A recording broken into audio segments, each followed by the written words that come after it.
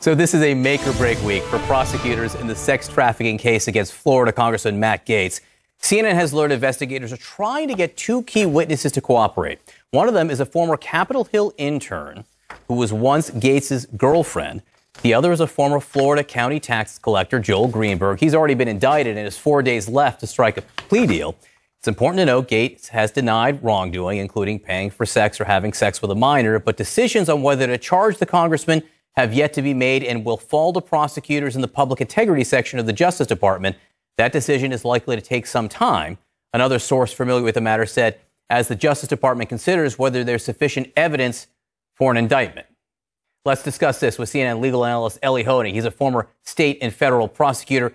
Ellie, two possible witnesses here, two different stories. Let's start with the former girlfriend who was a Capitol Hill intern, not Matt Gaetz's intern, but a Capitol Hill intern. Why might prosecutors want her cooperation? Yeah, John, well, look, this is bad news, no question about it, for Matt Gaetz. Here's why. So much of what federal prosecutors do, so many federal criminal cases are built on cooperating witnesses. I've called dozens of cooperating witnesses in my career. But Joel Greenberg, if he's going to be your star witness as a prosecutor, you better back him up because he is charged with, and presumably if he cooperates, will plead guilty to some very serious, grotesque crimes, including sex trafficking of a minor. So he's going to need backup. And if you can get this other witness, this ex-girlfriend, to corroborate, to support what Joel Greenberg may say, then your case is much, much stronger. So it's a key moment for prosecutors. Um, it, it, the girlfriend news was new this morning. Yeah. That was new for us. The Joel Greenberg news might still be bigger because, Ellie, as you point out, what he's already indicted for and charged with, these are big, awful crimes.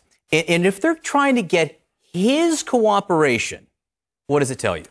As a prosecutor, there is no way on earth I would cooperate Joel Greenberg unless I intended to use his information against somebody else. It's a big deal. You don't just hand out cooperation agreements like candy as a co- as a prosecutor. It's a big deal, especially with somebody charged with as many crimes as as serious crimes as Joel Greenberg is charged with. So if I'm going to give him that opportunity to take a plea, to cooperate, to get himself a much lower sentence, I better be getting something in return as a prosecutor. I better be willing and able and ready to use his information to charge somebody else. Who that may be will be up to prosecutors. I've not seen any reporting of anyone other than Matt Gaetz, who's potentially in the line of fire here. So basically, you're saying it has to be good, serious stuff if they're getting it from Greenberg. Absolutely. They have to trust it, believe it, think they have it backed up, and they have to intend to use it. I wouldn't cooperate Joel Greenberg, take that information, put it in the file, and let it sit. You have to be ready to act on it. That is very